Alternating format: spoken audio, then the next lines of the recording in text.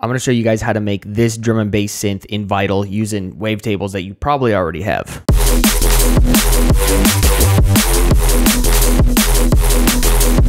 If at any point in this video you learned something new, consider hitting like on the video and subscribing to the channel. And if you're having trouble finishing music, grab my finishing music checklist in the description of this video. So the preset consists of just two oscillators, and this is the default saw wave here. You can see when I bring this all the way down, that's what the default saw wave is. And I've got this LFO shape right here. It's set to envelope mode and on one quarter notes.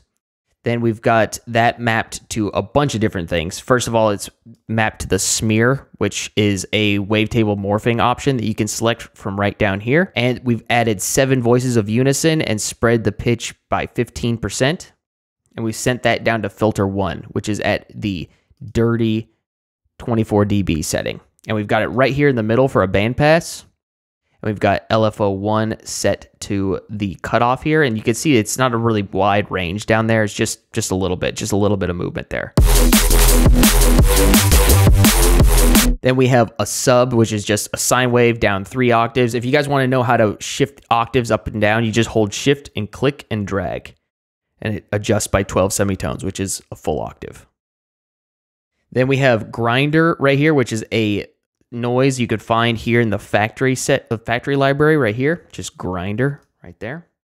And then we're sending that one direct to the effects as well. Both of these are going direct to the effects. A couple other options you want to remember is turning up the glide a little bit and then hitting always glide right there. And then bringing the voices down to one because we're making a bass here. Then we have our phaser up here, which is set to like it's this is right here in the middle. Feedback's at 42%. The center is at 74 mil, uh, semitones roughly. The depth is down here at like roughly 5%, but I also have LFO1 controlling that as well. You can see that's moving that phaser a little bit. Then we have the multiband compressor. We have the release turned down. That's all I did for that. And then we have the chorus. The chorus is a big part. Listen to it without the chorus.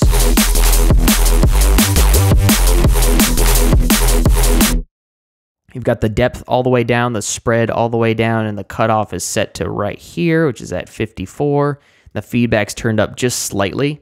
And we have delay one all the way up, and then delay two at looks like 8.1 milliseconds. Then we have the soft clip distortion. We have our distortion right after this, and this is set to 17.63 dB. Lots of distortion.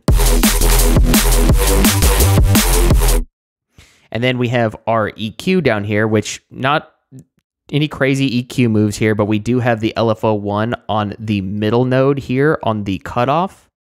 And we have just a little bit of gain, and that's that just sort of gives it a little bit of extra movement and uh, a little bit of body in the mid range.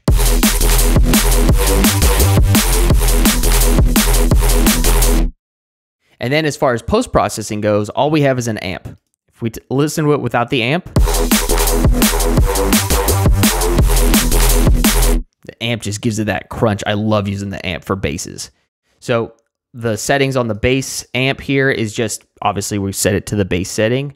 Bring it up to 60%, bring the presence up to 7.46, the treble up to 7.06, the middle down to 3.33, same with the bass, and then we switch the output to dual, and that's how we get this result. I hope you guys enjoyed that video. If you did, click like on the video and subscribe to the channel, putting out new videos every single week for you guys. Thanks for watching. We'll see you next week.